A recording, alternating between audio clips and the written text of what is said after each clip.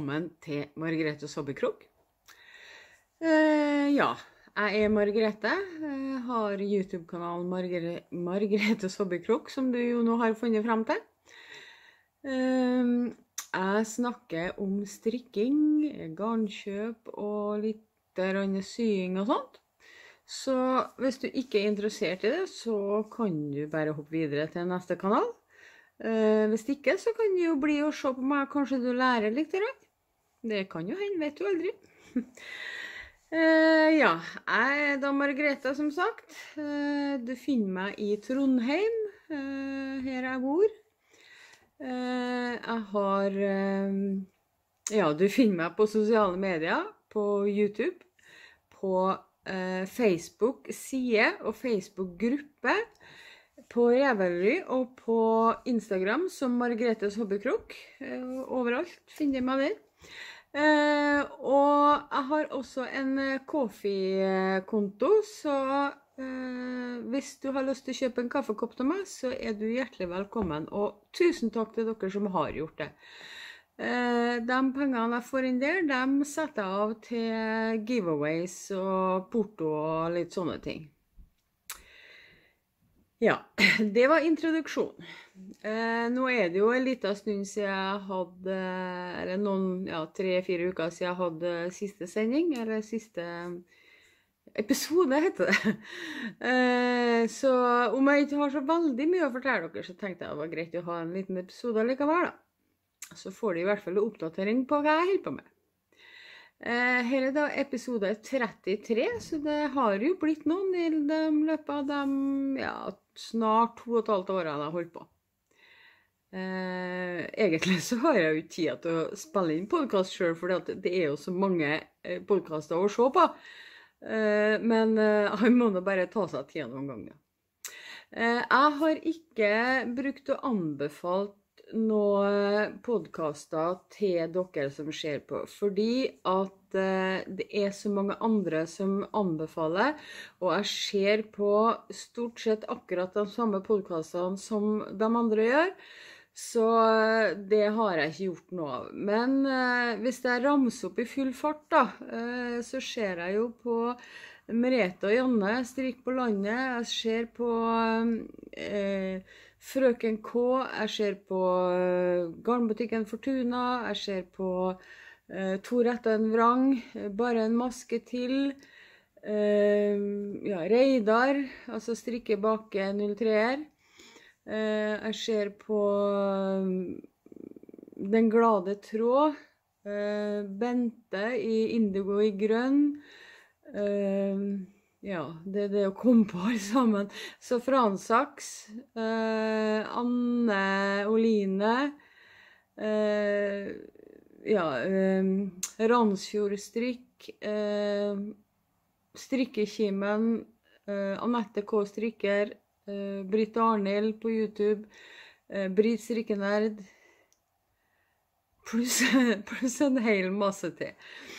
Og uh, ja. Jeg kommer som sagt ikke på alle i farta, men uh, jeg ser jo på det, det samme som dere andre ser på. Så hvis dere vil ha anbefaling av andre podkaster, så kan dere jo gå inn på, eh, på, kanalen min, så ser de hvilke jeg abonnerer på. Så finner de dem der, alle sammen. Eh, det er jo litt sånn at eh, noen, noen podkaster har det jo som favoritter, og når de legger ut eh, episoder, så er det jo å se på dem med en gang, mens andre eh, kan ta litt lengre tid før jeg ser på. Det har også med tida mi sjøl og hvor mye tid jeg har til å se på. Og så er jeg litt sånn at innimellom så må jeg se på litt annet, så prøver jeg litt på fredagskveld og lørdagskveld. Da ser jeg på litt andre ting, da. Så forrige helg, blant annet, så så jeg eh, episodene om, om Therese-saken som gikk på NRK. Veldig interessant å se på. Og eh, ja, jeg husker jo den saken. Jeg er jo såpass gammel at jeg husker den. Eh, helt forferdelig for mor, og jeg bare kjenner på det savnet hun har etter dattera si. Det er helt forferdelig. Men, men. Det var ikke det vi skulle snakke om. Vi skulle snakke om litt triveligere ting. Eh, ja, hva har jeg ferdig siden sist? Det er liksom første, første ting i podkasten, da. Eh, den går ganske fort, for jeg har ikke ferdig noen ting. Så derfor så hopper jeg bare videre til eh, pågående prosjekt. Og da er det faktisk eh, en del av de samme som var sist gang. Eh, jeg på Bortsett fra at jeg holder på med frydkofta. De husker at jeg strekka den eh, på bestilling. Den ble jo sånn. Og jeg syns den her er kjempefin, og den har vel kanskje passa til meg òg. Eh, I fargene i hvert fall. Det er jo mine farger. Men det jeg sa til hun som skulle kjøpe den, at når den var ferdig, strekka helt etter mål og på lengde og alt, så sa jeg at jeg syntes han virka så kort, så hvis du ville ha han lenger, så Unnskyld, bare klør i nesen. Eh, hvis du ville ha han lenger, så måtte du bare si ifra til meg, så skulle jeg eh, skulle, Kunne du sende den tilbake, og så skulle jeg strikke på mer. Og den var jo selvfølgelig for kort, da. Så jeg fikk den i retur. Og det var litt av et arbeid det å strikke på, fordi at den her er jo strikka nedenfra og opp, så jeg måtte jo rekke opp vrangborden nemme og så strikke på noen centimeter. Hun ville ha den seks centimeter lenger, da.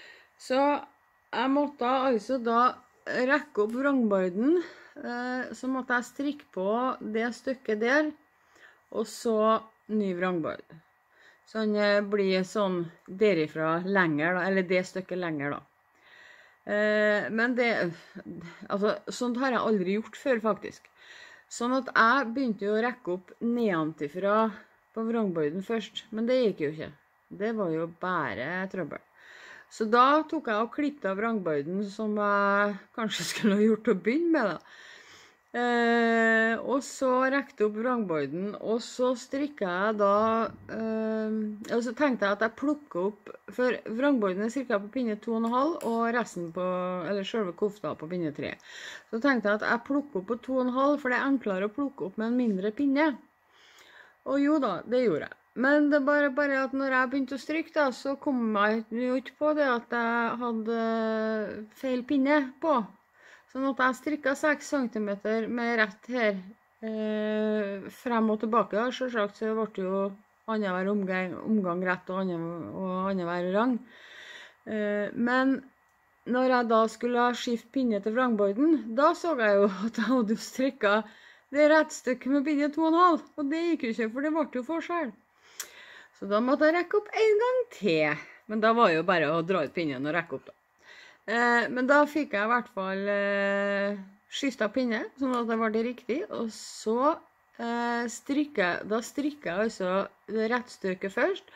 Og så strikker jeg vrangbordene, eller knappestolpene, med meg. Eh, og så strikker jeg dem sammen når jeg da begynner på vrangborden. Så nå holder jeg på å felle av. Har kommet så langt i avfellinga.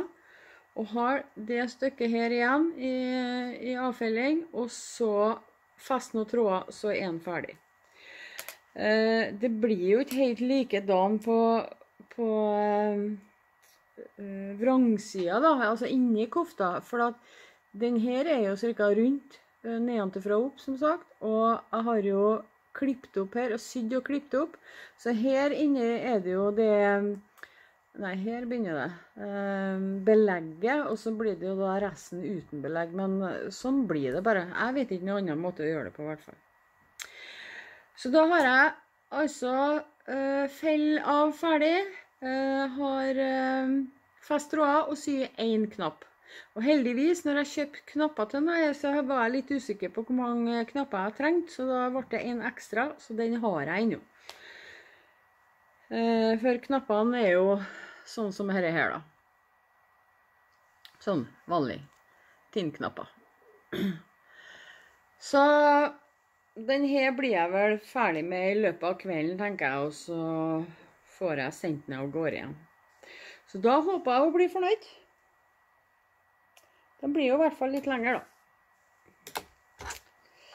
Ja, så det er det nye som jeg holder på med. som dere ikke så sist. det som var, at jeg rekte jo opp så mange ganger, og her, her er jo da stryka i eh, Viking Alpakka Fine, som du ser her. Som da er 85% alpakka supervann og 15% Highland ull. Eh, og det er ikke noe sånn spesielt å rekke opp, da, for de eh, surrer seg jo litt fast i trådene. Så her, her er det garnet har rekt opp to ganger. Eh, og det er ikke så fint, så det fant jeg Nei, jeg kan ikke uh, strikke med dette her.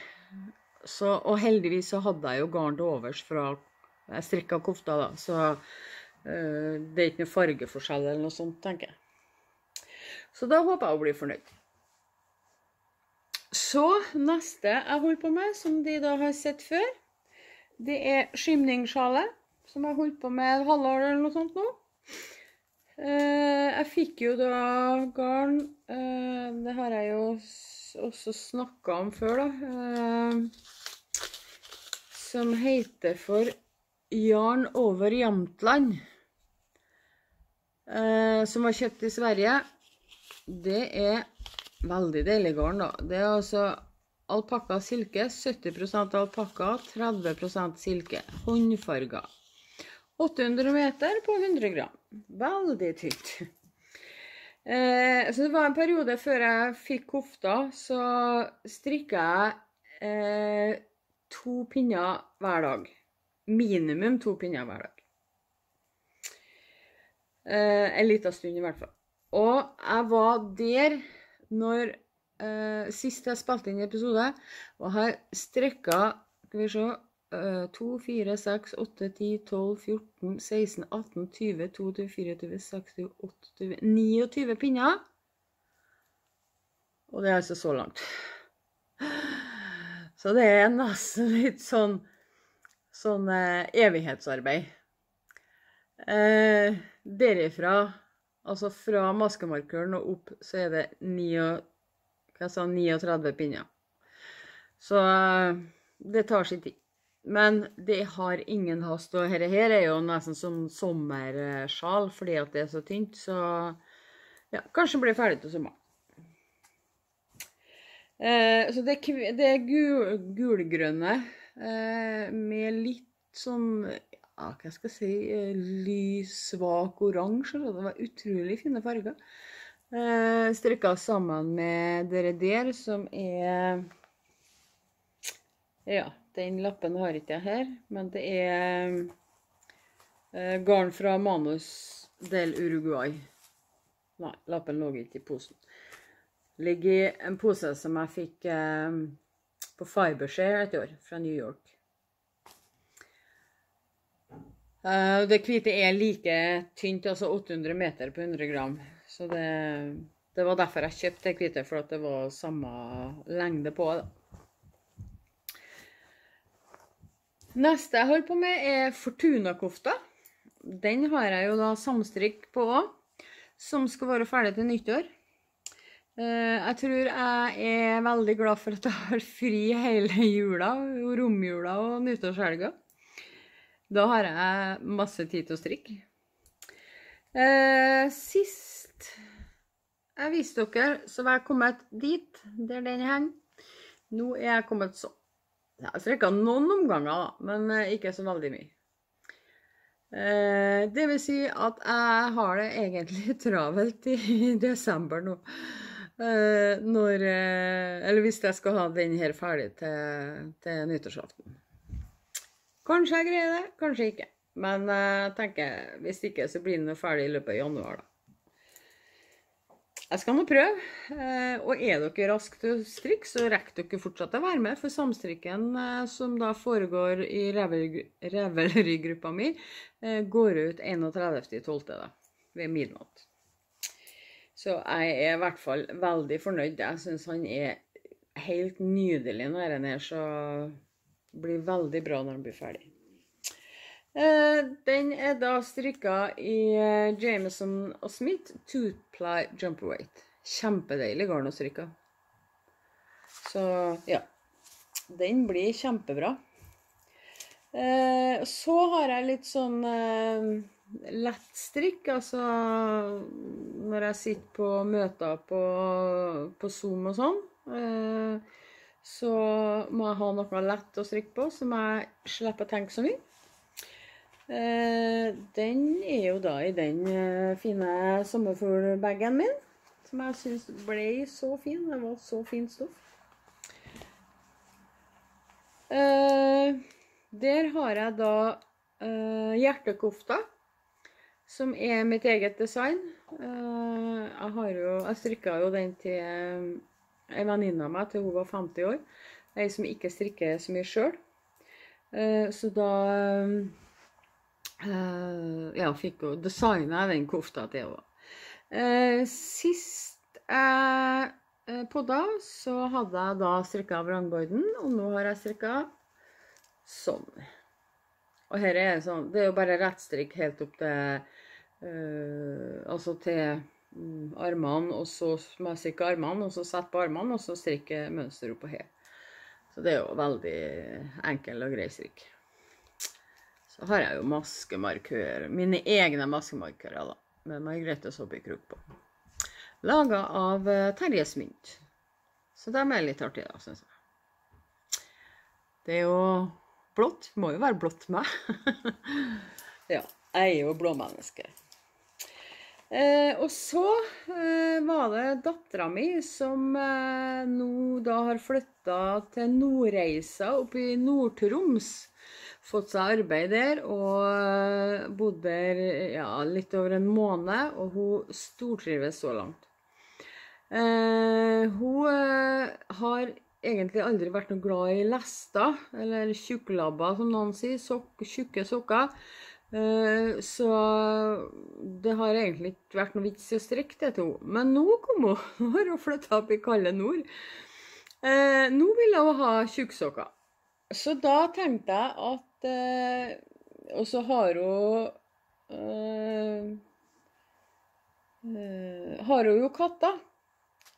Så da tenkte jeg at katter og hjul passer sammen. Og sokker. Det passer sammen. Så jeg holder på å designe litt eh, Eller et sokkepar. Eh, det blir først herresokker. Eh, det blir da til kjæresten hennes. De blir sånn. Jeg viste dem fram på, på Jeg var med på livesending til Frøken K. Da viste jeg dem fram. Og da var det flere som sa å, den må jeg få kjøpe mønster på. Så den tenkte jeg mønsteret skal bli ferdig ganske snart. Jeg holder på med første sokken ennå, men jeg skriver noe mens jeg holder på. Så, for det er jo Altså, den er strikka i sterk hvit og rød sterk. sterk på er jo litt tjukkere garn enn sånn som de fleste strikker jo nå eh, sokker på tynt garn og pinner og 2,5. Eh, men dette er strikka på 3 og 3,5.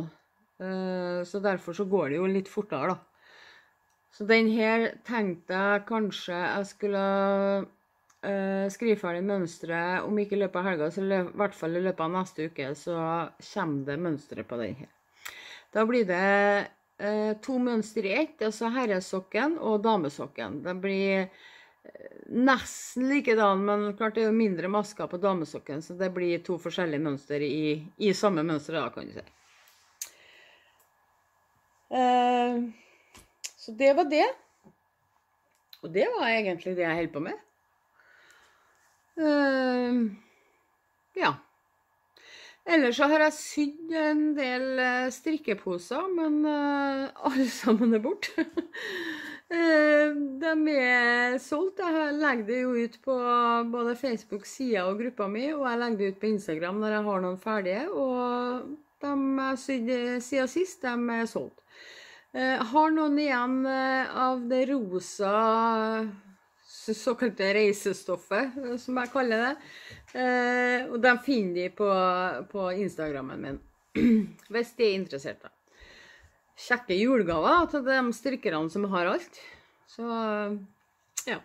De kan jo se på dem om de vil. Eh, nå Sist så laga jeg noen poser med, med, stoff med kaffekopper på. og det Sydd fire poser, og de eh, er borte. Det var ei som eh, kjøpte en pose, og det var jo veldig artig. Synes jeg. Ei som kjøpte en pose, og så eh, går det en liten stund, og så får jeg melding. 'Du, har du en pose til i samme?' Ja, så Jeg har en som er nesten ferdig, da, så jeg kan sy ferdig den. Ja, Hun ville ha den for at den hun kjøpte det først, da, den skulle hun egentlig gi bort i gave, men hun syntes den var så fin at hun ville ha den sjøl. Så da bestilte hun en til for å gi bort i gave, da. Så det var jo veldig artig å høre. Sånt er artig når eh, du får tilbakemelding på at folk liker det du lager, da. Så ja, er det Finner dere noe stoff i noe som jeg har sydd tidligere, så er det bare å spørre om jeg har mer igjen av det stoffet. For uh, jeg syr så lenge jeg har av det stoffet, og hvis det er tomt, ja, så, så er, det, er, det, noe tomt. Så ja, sånn er det. I hvert fall veldig artig å sy innimellom, da, syns jeg. Eh, så var det over til innkjøp har ikke kjøpt så veldig mye, men uh, jeg, hadde jo noe sterk fra før. Men jeg hadde ikke nok i den rødfargen da, til julesokkene, så derfor så var jeg på butikken der jeg jobba og kjøpte to nøster med sterk. da. Uh, for, for, jeg hadde tre fra før, så jeg er ikke helt sikker på om det varer både til et herrepar og et damepar. Så jeg kjøpte to nøster med, med rødt, for det regner jeg med nok til dameparet. Og så har jeg de tre til herreparet. Det kan godt hende nok, men uh, hvis det er det, ja vel, så har jeg noen rester som jeg kan bruke til noe annet. Eh, og så har jeg kjøpt meg noe annet. Og Eller én eh, ting til som jeg kjøpte meg eh, først. Eh, det er jo så mange som skryter av herrene her. Tenk, nå har vi fått dem inn på butikken på Jensoff City Syd, så da måtte jeg kjøpe meg en sånn pakke. Og så siste episoden av Strikk på landet, det sier jo Janne at husk at de er forskjellige. Men det er de ikke hos meg, for her er det tolv stykker som er 100 cm, altså én meter hver. Eh, så her er de alle sammen likedan, ser det ut som, for meg. Eh, ja, kanskje noen er bitte litt tjukkere, eller om det er synsbedrag, det vet jeg nesten ikke. Men uh, i hvert fall er det jo tolv stykker, og ganger 100 cm, da, så blir det noen meter. Uh, så da kan jeg jo prøve det, det, jeg strikker, før jeg strikker veldig mye lenger, da. Veldig kjekt å ha. Uh, og så kom sønnen min hjem med Han synger jo i det studentkoret Pirum her i Trondheim. Og han kommer med gallauniformen som de bruker når de skal på diverse tilstelninger og middag og sånn. Uh, 'Mamma, jeg har mista noen knapper. Kan du sy dem, du?' det var gutta, da. Uh, og så fant jeg, holdt jeg på å lete her, og så fant jeg at jeg har jo ikke sånn tynne knappenålsnål Nei, eh, knappenåler sånn til å sy knapper med. For de har jo ungene mine lånt tidligere, og borte er de. Eh, så da måtte jeg kjøpe meg knappenåler. Jeg fant en nål som var litt tjukkere, som gikk gjennom eh, knappene, sånn at jeg fikk sy sydd i knappene. da. Men så har vi fått inn sånne på butikken, så de kjøpte jeg. Så hvis de ser oppå der, hvis jeg får til å fokusere der, så ser de at det er bare å legge tråden oppå nåla og så press ned, så er nåla inni, inni hullet.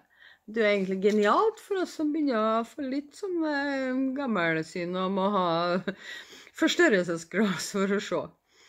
Eh, så her er han eh, veldig kjekk. Så kommer det store jeg har kjøpt, da. Eller store og store. Ja, stort nok. Jeg har sett lenge på det garnet her, og jeg forelska meg tvert jeg så det og tenkte jeg må ha det. Jeg, jeg bare må. Før eller senere så må jeg. Men nå fant jeg at nå måtte jeg bare. Eh, hvis jeg viser frem hva jeg har fått i pakken sammen med garnet, så skjønner de sikkert hvem jeg har kjøpt av. Det var to poser. Det ene var den her. Eh, små maskemarker med perler på. De var jo så søte. Det er 1, 2, 3, 4, 5, 6, 7, 8, 9, 10 stykker nedi, så de var kjempesøte. Eh, og så var det en pose her. som var med. Med maskemarkører. De skal få se dem. Eh, det var en sommerfugl.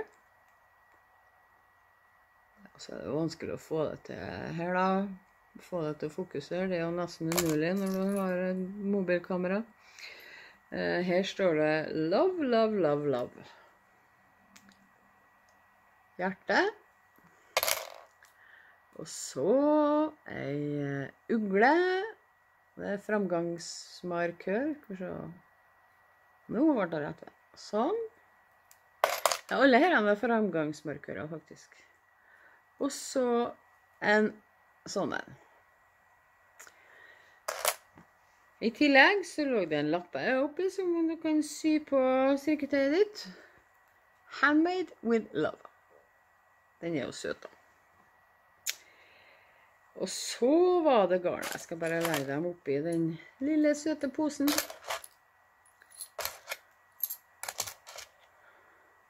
Sånn.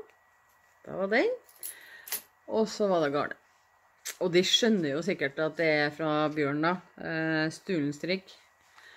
Eh, jeg syns han la farge et fantastisk garn, eh, og fantastiske farger. Så, altså Garnet kan du jo få andre plasser òg, men fargene han farger, det, de er helt utrolig. Se den fargen der. Og den kommer jo da ikke til sin rett i det hele tatt på kamera. Men jeg falt sånn for de fargene. Eh, garnet heter høstløv. Nei, unnskyld. Fargen heter høstløv. Eh, Håndfarga garn 100 gram, ca. 425 meter. 75 ull og 25 polyamid superwash. 30 masker på uh, 10 cm. Jeg syns altså den fargen her var så utrolig fin, så jeg skal ha meg en genser i det garnet her. Jeg er ikke bare blå, jeg liker veldig godt rødt òg, og disse fargene her er, var bare så. Så fire nøster, eller hesper som det heter når det, når det er hatt opp sånn. Uh, det skal bli en genser til meg. Hvilken genser, det vet jeg ikke ennå. Uh, muligens jeg tar bare en helt vanlig rettstrikka genser, sånn à la uh, à la Ingen Dikkedare-genseren, bare at i den fargen her, da. For jeg syns den var så fin. For å se fargen riktig, så slå opp uh, Stulenstrikk på nettet. Han har jo laga seg egen nettside, eller butikk. Uh, der får du se fargen riktigere. For, men uh, ja, jeg forelska meg til hvert. Så tusen takk, Bjørn, for at du lager så nydelige farger. Og tusen takk for eh, maskemarkørene som var med. Kjempeartig å få litt, litt ekstra sånn. Og nå gleder jeg meg bare til desemberpakken, for jeg har bestilt den. Og det er første gang jeg bestiller sånn overraskelsesgarn, altså jeg ikke, hva jeg ikke vet Nei, at jeg ikke vet hva det er på forhånd. Uh, så det skal bli veldig artig å se da, om uh, hva det blir for noe. Uh, ja, det er faktisk det jeg har kjøpt. neste punkt som jeg har brukt å ta med, er events. Hva har jeg vært på siden sist? Eh, jeg må si jeg har vært på to ting. Eh, begge to har foregått hjemmefra, så det er jo så greit. Eh, jeg var først med på livesending med Frøken K. Det var jo kjempeartig. og de revolverspørsmålene hadde de var morsomme. du skulle svare på to spørsmål, altså to alternativ. hva velger du, liksom? Og de var egentlig veldig vanskelig, noen, mange av dem, fordi at uh, du liker egentlig begge deler. Men uh, ja, vil de se hva jeg svarte, så har de Eller så ser de jo på uh, frøken K. ja, podkasten. Hun har jo episodene liggende sjøl om livesendinga er over, da. I hvert fall veldig artig å være med. Så har du lyst til å ha med meg igjen, Kristin, så bare si fra. Eller om det er noen andre som vil ha meg med.